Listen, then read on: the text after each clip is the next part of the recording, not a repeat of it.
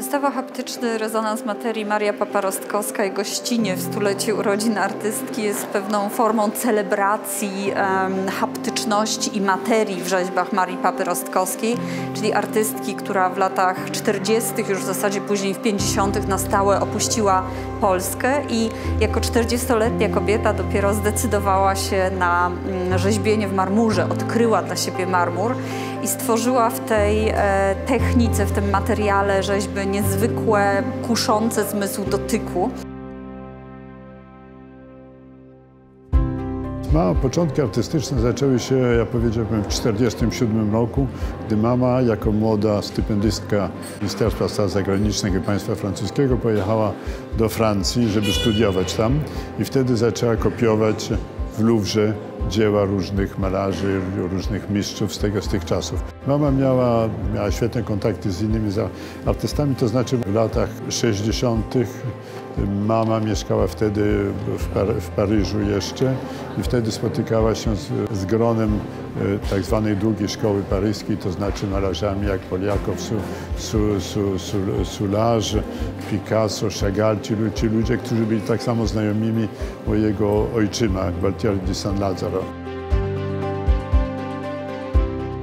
rzeźbiarze, którzy właściwie pracowali wraz z mamą, lubili jej rzeźby. To można powiedzieć, to jest Hans Arp, bo Jean Arp, jak mówimy po francusku, to jest Marino Marini, to, to jest e, Juan, Juan Miro, to jest e, e, Moore.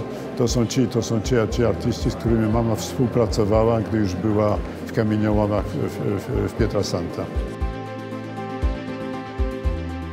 Maria Paparostkowska uważała marmur za tworzywo, które stawia jej opór i za to go lubiła. Uważała, że glina jest ciekawym materiałem rzeźbiarskim, zresztą rzeźby z terakoty są też do zobaczenia na wystawie, ale jednakowoż uważała, że dopiero marmur stawił jej taki opór jako materiał, który e, był dla niej odpowiedni i uważała, że marmur jest zastygłym życiem, tak jakby zastygłym morzem i próbowała w swojej twórczości w zasadzie to życie e, przywrócić marmurowi. Stąd też mamy mm, rzeźby, które są bardzo cielesne, bardzo erotyczne także i dlatego one też wywołują w naszych ciałach ów haptyczny rezonans. Chciałam właśnie tę radość życia zawartą w tych e, rzeźbach przekazać tą wystawą, zapraszając również do udziału artystki, gościnie, które mm, ten, ten walor haptyczności w swojej twórczości również posiadają i w szczególności Iwonę Demko, która wykonała pracę specjalnie na wystawę, które również możemy dotykać. Więc rzeźby Marii Papy Rostkowskiej, które swoją biomorficzną formą i połyskiem kuszą dotyk, ale jednak w instytucji muzealnej możemy dotykać je tylko wzrokiem. Natomiast Iwona Demko pozwala nam przejść z haptyczności do taktylności i właśnie dotykać te biomorficzne formy, kiedy jednocześnie patrzymy na rzeźbę Marii Papy. Chodzi więc o celebrowanie formy rzeźbiarskiej.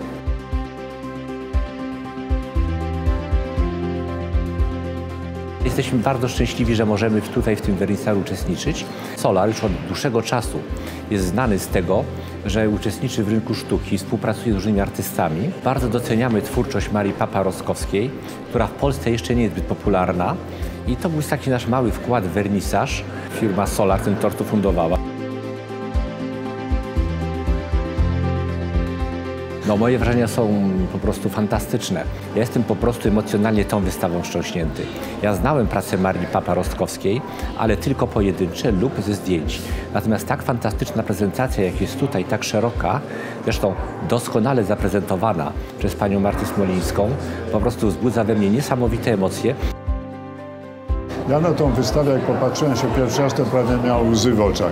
Tak pięknie wygląda, jest taka piękna aranżacja, jest takie, takie świetne korespondencje między rzeźbami innych rzeźbiarek i mojej matki, że naprawdę to jest, to, to jest e, to, to naprawdę świetnie zorganizowane. Ja jestem naprawdę bardzo, bardzo zadowolony z tego. To powinien być, można powiedzieć, model na inne wystawy.